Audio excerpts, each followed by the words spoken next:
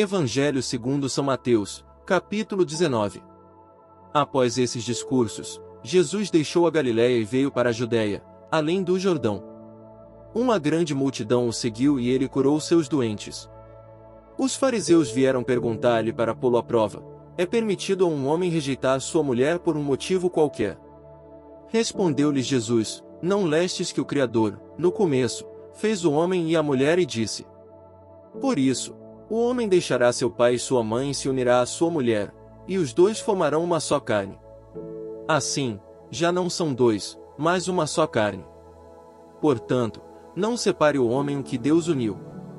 Disseram-lhe eles: porque, então, Moisés ordenou dar um documento de divórcio à mulher, ao rejeitá-la. Jesus respondeu-lhes: É por causa da dureza de vosso coração que Moisés havia tolerado o repúdio das mulheres, mas no começo não foi assim. Ora, eu vos declaro que todo aquele que rejeita sua mulher, exceto no caso de matrimônio falso, e desposa uma outra, comete adultério. E aquele que desposa uma mulher rejeitada, comete também adultério. Seus discípulos disseram-lhe: Se tal é a condição do homem a respeito da mulher, é melhor não se casar. Respondeu ele: Nem todos são capazes de compreender o sentido dessa palavra, mas somente aqueles a quem foi dado. Porque eunucos que o são desde o ventre de suas mães, há eunucos tornados tais pelas mãos dos homens e há eunucos que a si mesmos se fizeram eunucos por amor do reino dos céus. Quem puder compreender, compreenda. Foram-lhe, então, apresentadas algumas criancinhas para que pusesse as mãos sobre elas e orasse por elas. Os discípulos, porém, as afastavam. Disse-lhes Jesus: Deixai vir a mim estas criancinhas e não as impeçais, porque o reino dos céus é para aqueles que se lhes assemelham. E, depois de impor-lhes as mãos, continuou seu caminho. Um jovem aproximou-se de Jesus e lhe perguntou: Mestre, que devo fazer de bom para ter a vida eterna? Disse-lhe Jesus: Por que me perguntas a respeito do que se deve fazer de bom? Só Deus é bom.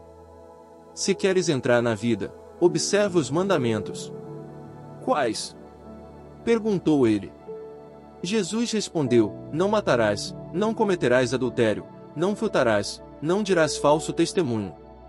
Honra teu pai e tua mãe, amarás teu próximo como a ti mesmo. Disse-lhe o jovem: tenho observado tudo isso desde a minha infância. Que me falta ainda? Respondeu Jesus: Se queres ser perfeito, vai, vende teus bens, dá-os aos pobres e terás um tesouro no céu. Depois, vem e segue-me. Ouvindo essas palavras, o jovem foi embora muito triste, porque possuía muitos bens. Jesus disse então aos seus discípulos: Em verdade vos declaro, é difícil para um rico entrar no reino dos céus. Eu vos repito, é mais fácil um camelo passar pelo fundo de uma agulha do que um rico entrar no reino de Deus. A estas palavras seus discípulos, pasmados, perguntaram: Quem poderá então salvar-se? Jesus olhou para eles e disse: Aos homens isso é impossível, mas a Deus tudo é possível. Pedro então, tomando a palavra, disse-lhe: Eis que deixamos tudo para te seguir. Que haverá então para nós? Respondeu Jesus: Em verdade vos declaro, no dia da renovação do mundo, quando o Filho do Homem estiver sentado no trono da glória, vós, que me haveis seguido, estareis sentados em doze tronos para julgar as doze tribos de Israel. E todo aquele que por minha causa deixar irmãos, irmãs, pai, mãe, mulher, filhos, terras ou casa receberá o cêntuplo e possuirá a vida eterna.